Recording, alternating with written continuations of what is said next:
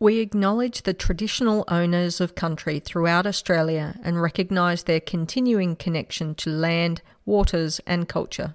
We pay our respects to their elders past, present, and emerging. This is Cheryl from Dja country. This is Beyond 90, the podcast on Joy 94.9, taking you behind the goals, beyond the pitch, and into what makes women's football the game we love. Welcome to episode 92 of Beyond 90 Pod. Thanks so much for tuning in, whether you're watching that on the usual pod platforms or Joy Radio or Clutch Radio. We really appreciate uh, the support. I'm Eric Sabiano, just at the time of recording, fresh off calling an NPL New South Wales women's game. So, in, obviously, in the mood for more talking about football. And uh, Cheryl our usual host could not be with us, but uh, we've got three capable people alongside me to cover up for my force. So, firstly, uh, Maj up in Queensland, how are you going? Yeah, not too bad. My voice is finally back after um, a, a big night cheering in Canberra. So, yeah, I can talk. Yay, yes. And speaking of Canberra, that's the perfect segue to real, really the other two guests. So, firstly, Steffen, who still still lives there. How's it going, Steffen? Uh, good, thanks. Hi, everyone. Yeah, still still coming down slowly from the massive week here. So, uh, mm. what a week it was. Yep. Yes. And also, uh, other Canberran that now lives in Sydney, Dale. So, uh, thanks so much for tuning in. And I gave you several seconds notice that we were recording. Yes, you did. yes, yes. Yes. Okay. So, uh, no, I was di- disappointed not to get to the game on last Tuesday, yeah. but uh, yeah, I was very glad, very glad that there was such a good turnout. Yes. So, firstly, and uh, for those of you that may be tuning in for the first time or haven't uh, watched much of our pods, we like to do a little bit of history at the start of each pod, and by matching a Matilda's cap number to the episode number, this being episode number 92, we'd like to talk about Matilda's cap number 92, which is Kristyn Swaffer. Uh, Kristyn made her Matilda's debut in 1996 and played for the national team until 2003. Made 30 appearances in A internationals, scoring once. Uh, Kristyn was a defender in Australia's 1999 World Cup squad.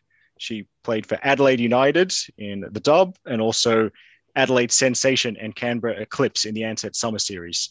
Um, and Kristyn was inducted into Football South Australia's Hall of Champions in 2011 for outstanding performances. So I, so these achievements via Football South Australia SA WSA Player of the Year five times, Club Best Player four times. This is quite a long list. Top SA WSA goal scorer twice, top club goal scorer three times, Clubs Players Player of the Year twice, most consistent SA WSA State Player in 1995, and Best Player in the State Team 1996. Also, vice captain of Adelaide United's inaugural W League team. So uh, that's quite the list of achievements. And via uh, Groobs, a friend of Beyond 90, who of course uh, knows all of these players from this era. Uh, Swaff, a reasonably rare South Australian representative, another centre back, if memory serves correctly. Wow, a South Australian centre back, you love to see that. Uh, gee, we had a strong proliferation of fullbacks back then. Swaff was tall, strapping, strong, good speed, and could push forward. Combined well with Sharon Black at national and international level an intelligent player who could dispossess players without them knowing, deceptively quick and light footed. So, uh, wherever we are, we hope Kristyn Swaffer is doing well. So, on to hot topics. And I suppose there's no hot topic than the Matildas playing in Australia. So, we could start with the game, of course, that we've already referred to down in Canberra, in the nation's capital. Matilda's three, New Zealand one. And as it's in Canberra, I suppose we might as well throw to Steffen first. So, uh, your thoughts on the game, Steffen? Yeah, well, what I, uh, it, after a bit of an iffy first five minutes, the uh, the first half was was uh, astounding, wasn't it? Um, the touch was really good, uh, the speed was good, uh, the intent was excellent, and um, yeah, it was just a um, really, really good vibe around the, the ground as well um, at, at Bruce Stadium, at Canberra Stadium, and uh, good crowd, good conditions. So, uh, very much enjoyed the first half. Second half was um, perhaps not quite as good. Um, we there were a couple of positional changes, which meant we lost some of the zing from the flanks. And uh, when Nellie Carpenter went to the back and Hayley got taken off, and um, but still very very solid um, performance. And uh, a great occasion having, you know, with the team not having been here for so many years. So, uh, yeah. What did you think, Maj? Well, I was just going to say, with those um, changes in the second half, I got my dream. I got to have Katrina Gorry and Alex Chidiac on field at the same time. So um, I was pretty happy about that. But um, I, mean, I spent most of the game there in the in the active section. So to be honest, I wasn't really paying much attention to the um yes to the tactical uh, tactical changes that were happening during the game. Um, except we know everyone did know when Alex Chidiac came on, so so we got her chant going up um, around in the active section as well. Mm-hmm. But had had a fantastic time there. Um, uh, was really happy to see the crowd get involved with us as well. So um, that was fantastic to see. So yeah, watching it back, um, totally agree. I think the first half, and if you look at the stats again, it's a similar-ish story to the first game, but probably yeah, when those changes were brought on um, in the second half, it did seem a little bit mis- more disjointed. Which um, I mean, I guess you expect they're, they're they're not as used to those combinations aren't as, as used to each other as playing um, together as as what I'm pretty sure it was the same starting eleven. There may have been one or two changes um, from Townsville. So it was a, a, pretty consistent first half team there. But I mean, I, I, guess what's really what was really nice was some of the finishing um, that we did have there in the first half. So um, I think last pod, and, and, maybe I should complain again um, because I did complain about Hayley Raso's finishing in Townsville, uh, but then she came up with an absolute uh, beautiful pinpoint uh, finish for the second goal of the game. Um, uh, and I think uh, Sam Kerr's um, second goal as well, uh, and Australia's third goal was was um, a pretty nice pinpoint finish as well. So, but again, I mean, there were, there were lots of missed chances again. So we still had like uh, heaps of shots um, that you would we probably still want to see a bit more clinical finishing. I think going forward, and and you know, and then the big. The big thing is that we, we did get caught out in defence again. Um, the quick transition goal um, through to Hannah Wilkinson, who was able to, I guess, just uh, bully her way through um, Claire Polkinghorne and sort of get that ball away, which was a bit disappointing. It, it would be nice for us to get a clean sheet at some stage. Um, I don't think we've had one in a while, um, in you know, except well, maybe in, in the Asian Cup. So, um, but yeah, fun game. Um, Canberra conditions were fantastic. That beautiful autumn temperature for um for football. So had a great time. Yep, and of course, don't don't feel bad. Active support bay not the place to do any kind of strenuous tactical analysis. Uh, like uh, like your point on, I think the third goal, Sam Kerr second. Um, yeah. was watching that in the corner f- near the corner flag with um friend of Beyond 90, Nick Amies, and I could was in the perfect position to see Sam's really bent around. It kind of looked like she kind of changed direction a couple of times, start dropped off a bit, ran across the line, then kind of bent her run, and it was timed perfectly. So, uh, yeah, that was a really great run. I'm not sure if the TV cameras picked that up, but uh, yeah, great movement but, as well because movements obviously. But also on that goal, it's like sometimes the long ball to Sam Kerr is a fantastic option. I know people have been mm. um, complaining about the long ball game, but when you've got Sam Kerr who can do that and can pull out a goal like that, um, it's it's it's a wonderful option to have in the bag. Yeah. So uh, Dale, just your thought. Of course, yeah, you um, live tweeted I mean, that for us. Yeah. I was going to say, yeah, I, I, I, think the the one thing that like the point that Maj makes around um, like a long ball over to Kerr not always being a bad option. Like, you know, she's obviously one of the fastest players in world football. I think our criticism, obviously, about um, playing balls over the top is that often we're kind of doing it out of desperation to discount the fact that we're being dominated in midfield or being shut down in midfield. But I think like sometimes, as we saw with the Wilkinson goal, like sometimes a long vertical pass is fine as long as you've got a player that can play that kind of style. And Kerr is we're blessed to have that kind of player. You know, a player of many gifts like Sam Kerr. So um, yeah, I don't have too much of a problem with that um, at all. But yeah, I mean, it was it was kind of a as you say, Steffen, like it was kind of a funny start to the game. Like, you know, we had the issue with Paige Satchell, then we had kind of two goals, and then, you know, game settled down a little bit. Um, it was it was the, the second half was kind of good in a sense that we were clearly trying some new things out, like playing three at the back. You know, playing with effectively two defensive, well, two pivots in the base of midfield, just different things that we might have to use in, on another occasion. Um, so I'm glad that we were at least able to, to kind of um, not throw caution on the wind, but try a few things out. Remember, we we lost that game against France where there was that famous quote that we didn't train to train to play against three at the back. So the more that we can train for situations that we're not used to, then then the better that will be. Um, you know, come tournament time. And of course, um, before the Matildas game down in Canberra against the Football Ferns, uh, we had the inaugural Women on Side Women's Football Writers Festival. Uh, it was lovely to see um, Ann Odong, really, you know, the fairy godmother of Australian women's football, or at least Australian women's football media coverage, uh, announced as the inaugural recipient of the Outstanding Contribution to Women's Football Writing and Media Award. Of course, I do believe Anne caught up in that whole international team bubble thing and couldn't actually join us. I think that's the reason she wasn't there, but uh, we were able to award that uh, virtually if that makes sense. And so, yeah, obviously couldn't think of anyone more deserving for that award. Now, I was uh, caught up with things that morning, but uh, Steffen, you know, obviously a great event, and we hope uh, to have more meetups like that in the future. And it was good to actually meet people in person for once. But uh, Steffen, what were your thoughts of the uh, Women Onside Football Writers Festival? Yeah, well, wasn't it a terrific start to a great day? I mean, the afternoon was uh, just flew by. There was around almost forty people in the room a lot of lot of um, uh, like-minded people who had very interesting points of view of things. Uh, really lovely to catch up with some people um, from Beyond 90 and some people who have had ties to Beyond 90 in the past. Uh, and some, you know, to speak in person with some of those for the first time ever.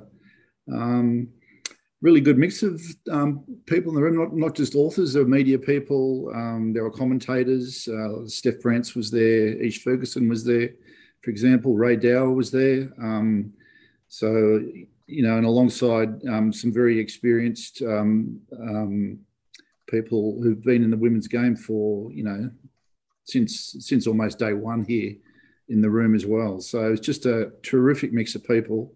Uh, really enjoyed it and just set us up so well for the for the evening. So uh, yeah, so I just wanted to. Uh, it's a shame that our Cheryl couldn't be be along, um, having also I think put a lot of effort into uh, alongside uh, all the uh, the women on side committee to uh, to get the event up and going. But um, some of the highlights, I just took a couple of notes, if if that's if I may. Um, Fiona Crawford was there, the author of Never Say Die, and she she kicked things off. And uh, one of the important points that I wrote down that she that she noted was that she'd like to see it get to the point where uh, women writers don't um, ask themselves, who am I to work to to write these stories? Where it just um, becomes something that you know they do and they don't have to think about why they're doing it or who am I to do it. So uh, it was a really good point. Beyond 90, the podcast on joy, taking you behind the goals, beyond the pitch, and into what makes women's football the game we love. This is Beyond 90, the podcast on Joy 94.9. Uh, we had Susie Ruck from from the Guardian there um, talking uh, with us as well with with Kieran Pender on video link, um, and um, some really fine panels. We we heard from Heather Reid, for example, um, that she's thinking about doing a, a podcast series about um, you know her her history in the game. Um, you know, of course, the magnificent award that was really a privilege to be there to to see it awarded to, to Ann, um, Ann Odong, presented by um, uh, Capital Football's Fran Sankey. That was that was awesome.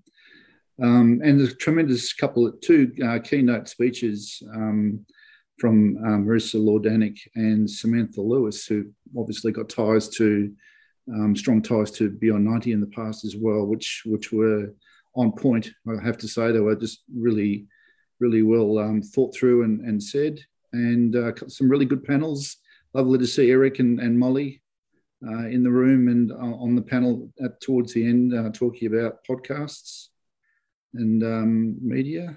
And uh, yeah, so I just I just loved it. I, I, left I left that room just feeling really good about what we'd heard in the afternoon, and it just set me up perfectly for the game afterwards. So. Um, yeah, Nick Amies was there, as, as Eric said as well. He's obviously done some work here as well for Beyond 90. So what do you think, Eric? You were, you were there as well. It was really good. Yeah, was, I mean, just my commitments, which did actually involve publishing one of your articles, Steffen, that morning. I was a bit late, but yeah, I can only echo what you've said. We uh, should love. Uh, hopefully, there's more of these. I think. It, obviously, it was great to probably, given how important Canberra is to women's football in this country, good to have the first one in Canberra. But hopefully, we can uh, hit some different venues and perhaps get a, either a bigger attendance or perhaps different people coming as well. Because I mean, Angela Christian Wilkes would have been there. Uh, that was the intention anyway, but unfortunately, uh, I think there was a last late change and she couldn't make it. But yeah, just you know, it's good that we can only obviously. I feel what you feel about it, Steffen, and so I think it's important that uh, women on side take these two, you know different cities so uh, you know kind of more people can get involved and have the chance to network. Now um, moving on and of course it wasn't just an international weekend for us and the kiwis. Of course international games everywhere.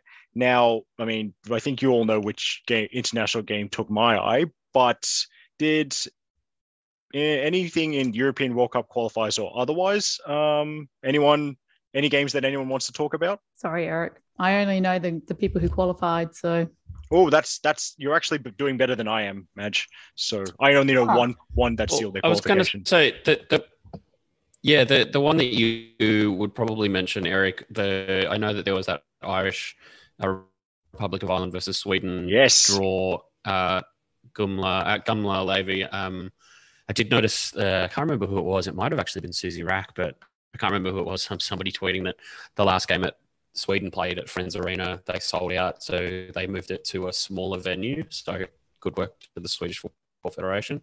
Hmm. Um, but yeah, that was the only match that I saw. I do know that uh, obviously uh, there was a lot of European qualifying on, but unfortunately, with the way of the world, with all of the uh, various uh, TV channels. Not not very easy to get that kind of stuff over here. Yeah, but I mean, we, we of course did get Sweden, uh, France, and Spain have actually qualified now, so yes. um, they will be coming mm-hmm. down under in 2023.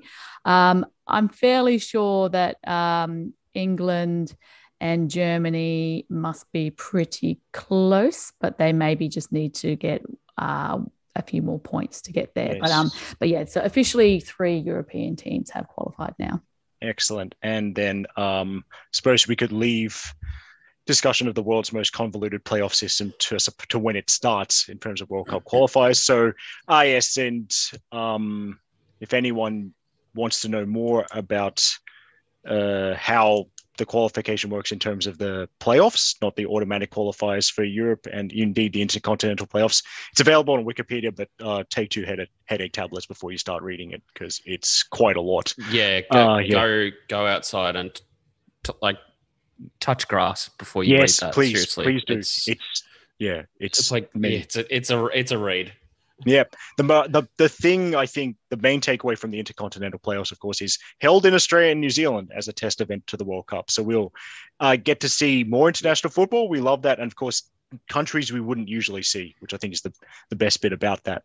Now, um, yeah, back onto uh, Sweden one, Republic of Ireland one, a huge point for the Irish.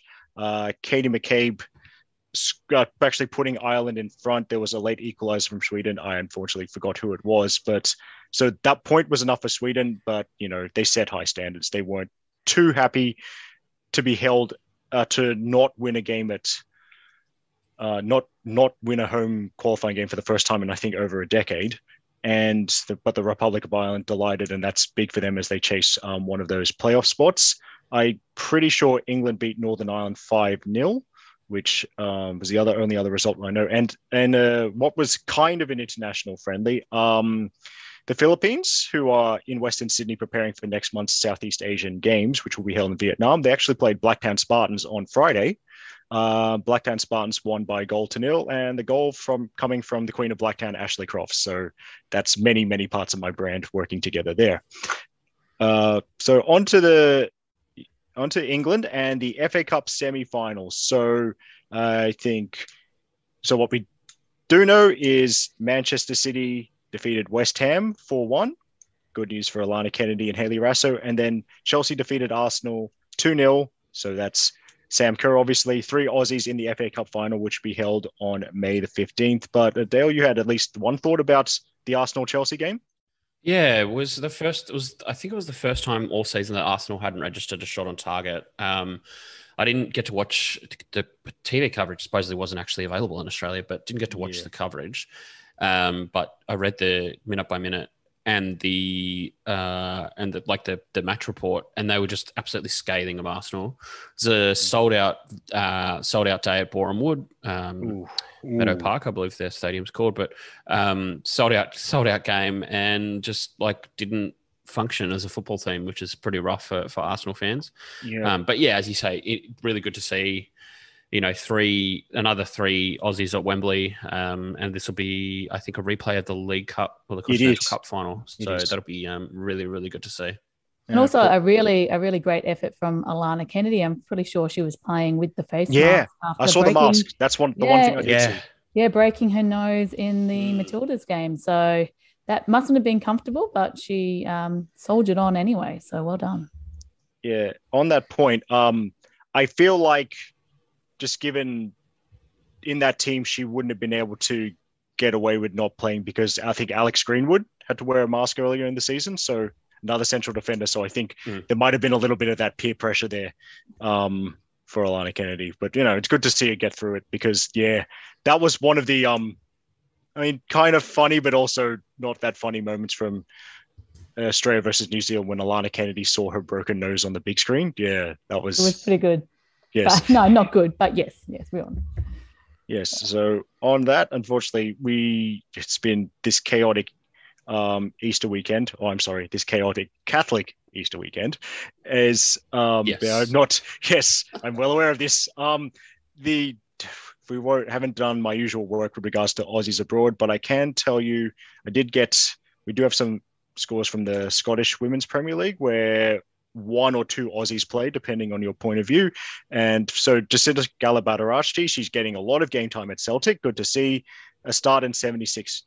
He started and played 76 minutes uh, for Jacinta, and her Celtic team beat Partick Thistle 2 0. Now, Aoife Colville, who hmm, is she is she from Northern Queensland? Is she one of Steffen's former Canberra United players? Is she Australian? Is she Irish? There's a lot of arguments going on, but and and she's unfortunately recovering from an ACL injury. But for what it's worth, her Glasgow City team beat uh, Spartans four goals to nil. So I think the answer to all those is yes, Eric. yes, she's she's many she's many things, but most importantly, she's Many a things to many comes back people. big. That's, yes, that's the most yes. important thing. Yeah.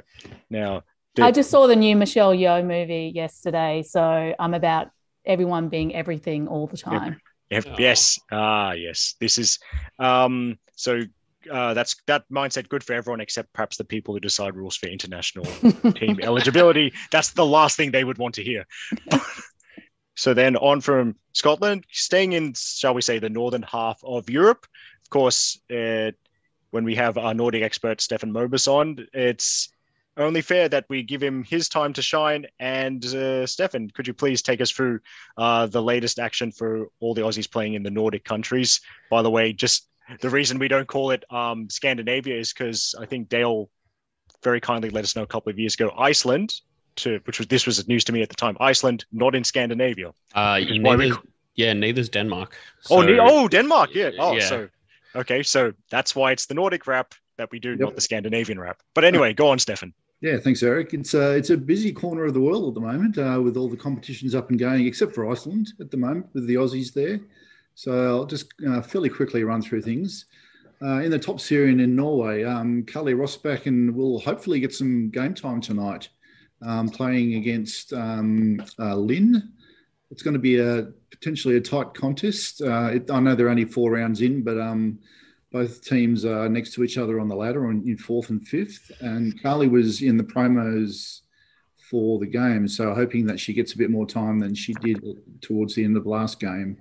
Uh, so we'll see what happens tonight. Um, over in Sweden in round three, um, Teagan, Micah, and Charli Grant sat on the bench, um, having just come back from from Australia, I think, for for Rosengard in their five two away win against Djurgårdens. Um, that lifts uh, Rosengard way up the ladder to to uh, second place. Um, as I said, though, it's only round three, so these sort of movements are bound to happen. Um, Polks uh, played 69 minutes, which is an amazing effort given the uh, the trip that she had as well coming back from from the game um, from the game here in Canberra um, in their 4 0 away loss to Umeå, unfortunately for Vittsjö. And it looks like Mini is in Sweden, but is was not yet part of the uh, the match day squad. So hopefully that'll that'll happen soon. Uh, that result leaves Vittsjö in 13th place at the moment, but it's early days. Um, over at Hammarby, who are currently 12th, they had a home 1 0 win against sixth place Piteå. And Courtney Nevin played, made her debut and played the hmm. full game at left back and received the Player of the Match award from for the game. So uh, that's what I've read. So well done to Courtney. Uh, good start. Uh, no sign of Kyra Cooney Cross yet, and uh, nothing. Uh, I haven't really heard anything yet about KK uh, either. So still contracted to the club, we believe, until 2024. Um, Remy Siemsen's AIK had a 3 0 home loss to top of the ladder BK Häcken. Uh, Remy was not yet on the team sheet, um, but again, possibly understandable given uh, you know the travel demands and things there. Uh, AIK are currently 10th. Beyond 90, the podcast on Joy, taking you behind the goals, beyond the pitch, and into what makes women's football the game we love. This is Beyond 90, the podcast on Joy 94.9. And in the division below that, the Elitettan, um, they also played round three, and uh, Annie Haffenden's Vex, Veco, which is where Winnie Hitley played last year, they're playing tonight against fourth place Uppsala, and they currently lead the competition there. So that's the Sweden comp, comp all wrapped up. Over in Denmark, a really good win uh, in the championship round robins in round three of it to um, Fortuna Hjørring, where uh, some Aussies had some really um, massive parts to play in the win. Um, Angie Beard scored two goals, and Indi Riley also scored. And there was some very nice interchange between the two. Um, if you watch the highlights, which we'll put on the on the pod notes, and which will no doubt form part of the Nordic wrap this week when I get around to writing it. Uh, Claire Wheeler also also played half a game, so again that's a good effort for having just travelled. So that four-one win uh, leaves them in second place, and they won against uh, third place Brøndby. So um, yeah, good win in, in, that competition. And over in the relegation round robins, also the third round, um, Jenna McCormick's AGF had a 2 0 home win over sixth place, which is bottom place in that in that competition. Um, um, but Jenna was not on the team sheet, so we're hoping that she's um, back back on the park soon with that ankle knock. I think she took a week or two ago. And uh, yeah, I mentioned Iceland before. Their competition starts April the 28th, which is in just over a week's time, isn't it? In 10 days' time, mm-hmm. uh, where Margot Chevet and Susan Fongsong are, are going to be running out for KR Reykjavik. And that's it for the Nordics. Thanks so much, Steffen. Now, on anyone aware of any NWSL action? Uh, so, and we also had uh, Emily Van Egmond uh, started for San Diego at home against Portland uh, in the NWSL. Not the best, uh, not the best afternoon for, for the San Diego Wave, um, who, aside from having one of the best logos in world football, um, had an awful result. They were down 3 0 at halftime. Uh, they ended up going down 3 2 uh, at home to uh, Portland Thorns. Interesting that, um, and I don't know this has probably been covered, but uh, they're the home team for Alex Morgan. There's a, there's a, a bunch of players that you would probably know if you've uh, followed women's football for a little bit. They've got Carly Telford, former England goalkeeper, or current England goalkeeper, Abby Dahlkemper, uh, Jodie Taylor, who also plays for England, and Alex Morgan, who is, I mean, was arguably the face of women's football for a number of years. Probably still is. Um, thing that I don't like about San Diego they call their substitutes game changers.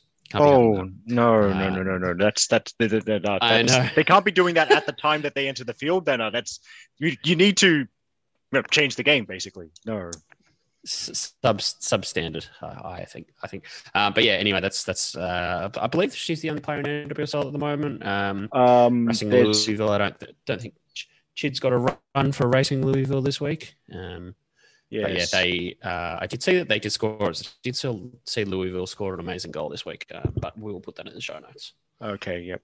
Um, also, and don't suppose you wouldn't know how Chelsea Dawber got on at Chicago Red Stars? Uh, so we didn't have. Uh, so we didn't have Chelsea Dawber on the starting 11 for Mm-hmm. Chicago in their game against Racing Louisville. But as I Mhm. said, uh, Louisville did score that amazing goal at home. There was a one-all draw at what I believe is the it's called Louisville City Stadium or something like that.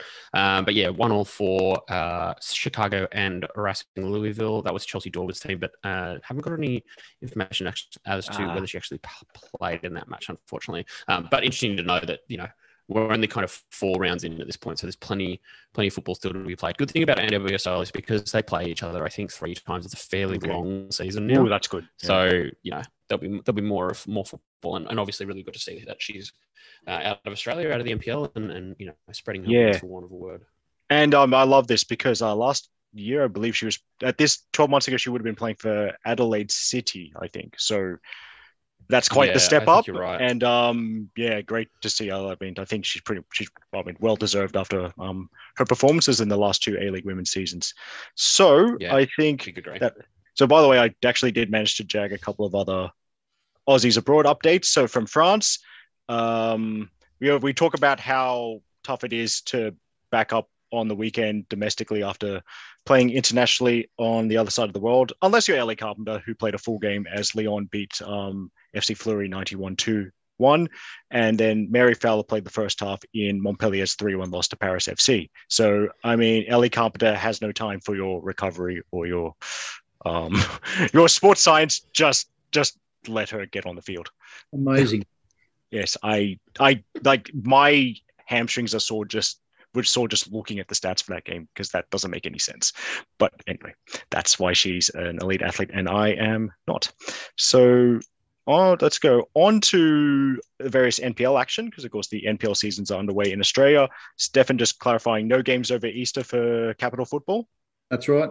Okay, yep. So yes, and now, yeah, that's good. And I think that's probably, you know, what uh, would be the preferred option. Although, I mean, I don't, us New South Wales, we can't afford to do that time wise.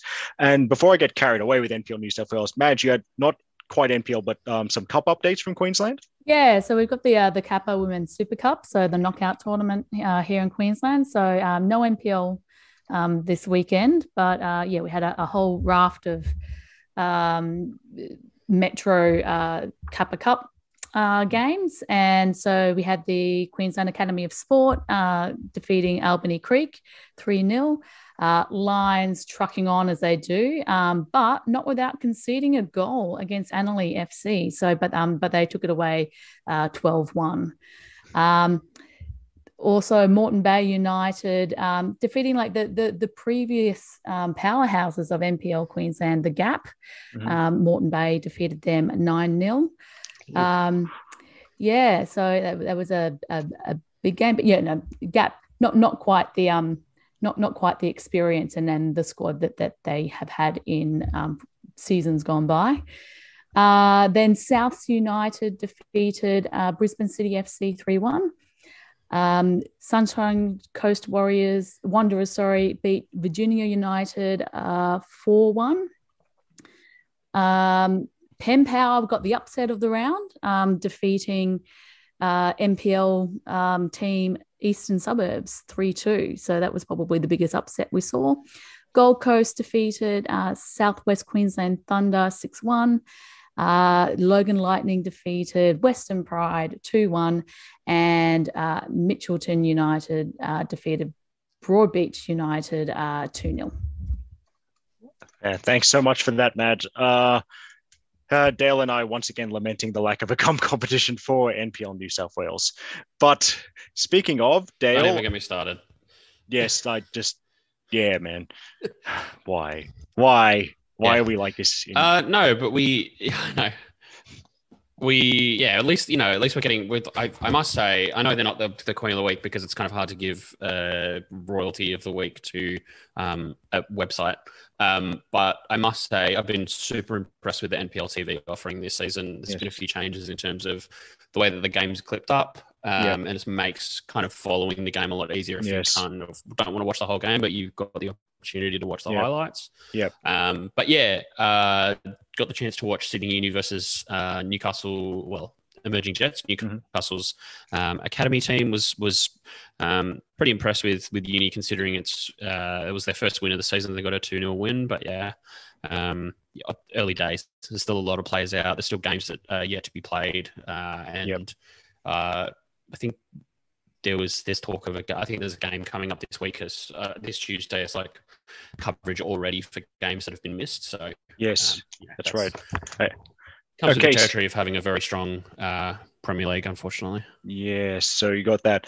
Um, yeah, you're right. So Sydney Uni and Blacktown Spartans, they they'll play on Sunday, and then it, they'll they'll play their regularly scheduled games on Sunday, and then they've got a catch up game against each other on the Tuesday. So that's that's going to be a bit of rough. That's a bit rough early in the season, but uh, just suppose you know, yeah, as you said, Dale, you have to fit the games in.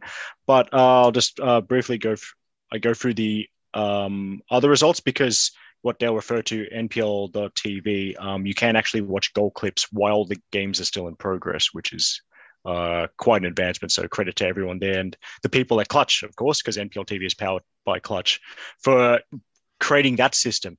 So big result, uh, but uh, between MacArthur and Spirit. MacArthur Rams beat Spirit FC six one. Two hat tricks, one to Japanese import Miku, Sunaga, who scored a hat trick on a debut, another hat trick to Laura Murtag, and the Spirit goal coming from Talia Macri. Manly shocked Sydney Olympic by three goals to nil. Goals from Caitlin Jarvie, Maddie Zara, and Yuka Honda.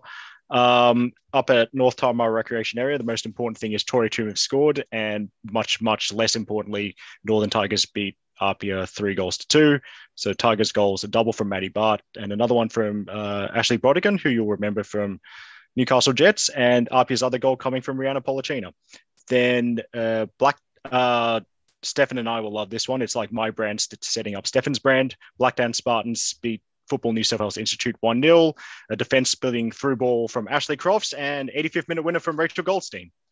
And then uh, the game I've just come from, the game I called for NPL TV, Bankstown City beat Illawarra Stingrays by two goals to one. So that's uh, good for them. That it's been a rough couple of recent seasons for Bankstown City. Good to see them get off the mark nice and early. Bankstown's goals from Sky Kasakia and Olivia Price, and the Illawarra goal from Sheridan Gallagher. So that's the quick round. Oh, by the way, um, Sydney Uni's goals from Holly Caspers and Holly Duncan. It's time for Beyond 90, the podcast's Queen of the Week, celebrating the weekly highlights from the Queens, Kings, and non binary royalty of women's football. Uh, I think the, all that's left is the Queen of the Week, and Steffen was more prepared than any of the rest of us. I still haven't picked mine actually. So, Steffen, you can go first. Alrighty. Uh, so Angie Beard, not only was she uh, selected in the um, the team of the round for her efforts, the, the two goals, and her efforts for Fortuna Hjørring, Hearing this week, but she was also selected as the player of the entire round, the best player of the round. So, well done, Angie. Angie must be still wondering what uh, what she has to do to be uh, involved back in. I the- got something to say about that, but go on. So uh, she's probably still scratching her head, given the fact that her last outing, I believe, was uh, quite a strong one for for the Matildas and hasn't been seen since. Um, but yeah, uh, kill, killing it in uh, over in Denmark. So uh, well done, Angie. You're my queen of the week. Okay, so Maj, you go for. Can you go next, please? Yeah, yeah, sure. Um, so mine, my Queen, Kings, Monarchs of the week is everyone who turned up and active uh, in Townsville and Canberra. I think Canberra we had the bigger crowd, but um, it was just fantastic to get some more voices in there and and really really create a great atmosphere at the game. So. Uh, next games that we have here, come join us because it's a lot of fun and the more the merrier. Beyond 90, the podcast on joy, taking you behind the goals, beyond the pitch, and into what makes women's football the game we love. This is Beyond 90, the podcast on Joy 94.9. Dale, so who was your Queen slash King slash non-binary legend of the week? Uh, my queen of the week is Nirmala Devi from the Indian Women's League. Uh, she plays for Kickstart FC. And boy, did she kick and start this week. Scored an absolute screamer from about 35 metres out against, uh, she plays for uh, Kickstart FC, as I said, they're in Bangalore, and they, she played against FIFA Sports from Mumbai.